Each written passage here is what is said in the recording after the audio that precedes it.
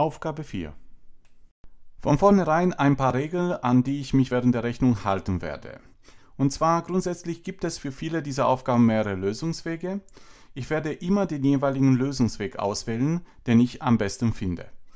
Und es werden stets nur Lösungswege, Verfahren und Formeln benutzt, die in der Abiturprüfung auch zugelassen sind. Das bedeutet keine Tricks und keine exotischen Verfahren aus dem Studium.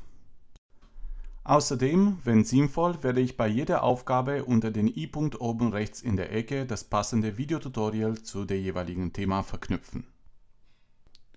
Die Abbildung rechts gehört den Graphen einer Funktion f. Einer der folgenden Graphen 1, 2 und 3, die unten abgebildet sind, gehört zu der ersten Ableitungsfunktion von f.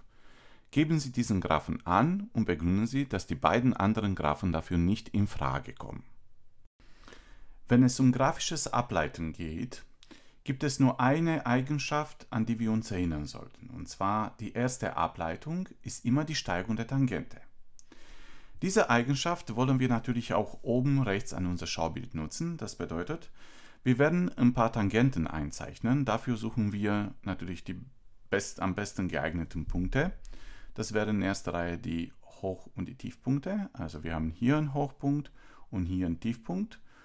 Und diese Punkte besitzen immer waagerechte Tangenten. Das bedeutet, deren Steigung ist 0. Für die erste Ableitung bedeutet das indirekt, dass sie in diesem Fall an der Stelle 2 und minus 2 Nullstellen besitzt. Wenn wir diese Eigenschaft mit unseren Schaubildern hier vergleichen, dann sollte uns auffallen, dass Schaubild 2 diese Eigenschaft nicht besitzt. Also Schaubild 2 hat bei ungefähr 3,3 und minus 3,3 seine Nullstellen. Deshalb kommt dieses Schaubild für uns gar nicht mehr in Frage. Gut, die anderen zwei Schaubilder haben allerdings beide diese Eigenschaft, also beide haben Nullstellen bei 2 und minus 2. Deshalb müssen wir ein bisschen weiter graben. Und zwar, wir können nicht nur an dieser besonderen Stelle Tangenten anlegen, sondern zum Beispiel auch an der Stelle 0. Und hier haben wir auch eine Tangente, deren Steigung wir über ein Steigungsdreieck ablesen können. Für gewöhnlich geht man immer eine Einheit nach rechts und dann in diesem Fall nach unten, bis wir die Tangente treffen. Und diesen Wert, was wir nach unten gehen, in diesem Fall ist es ungefähr minus 0,8, ist auch gleichzeitig unsere Steigung. Wenn wir das mit dem dritten Schaubild vergleichen, an der Stelle 0 hat diese Funktion den Wert minus 2, also sehr stark abweichend von unser Wert minus 0,8. Deshalb kommt dieses Schaubild auch nicht mehr in Frage. Und wenn wir das mit dem ersten Schaubild vergleichen, dann sieht es ganz gut aus. Also das kann man auf jeden Fall als minus 0,8 durchgehen lassen. Also wir haben einen Gewinner, das ist Schaubild 1.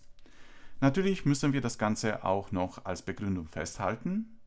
Deshalb als erstes könnten wir sagen, bei x gleich minus 2 und x gleich 2 muss die Ableitungsfunktion 0 Stellen haben. Und zweitens, an der Stelle 0 ist die Steigung ungefähr minus 0,8.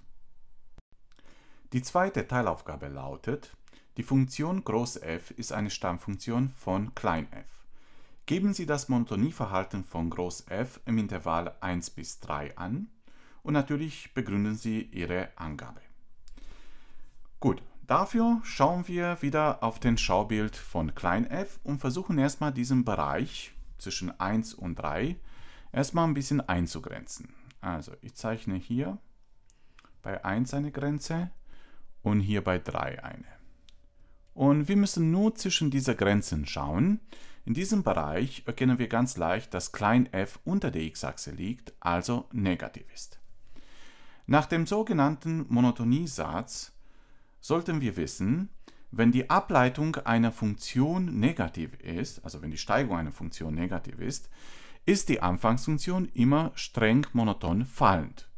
Und da klein f die Ableitung von groß f ist, können wir das auch als Begründung für unsere Aufgabenstellung nutzen und sagen, weil klein f von x im Intervall 1 bis 3 negativ ist, folgt, dass groß f von x streng monoton fallend ist.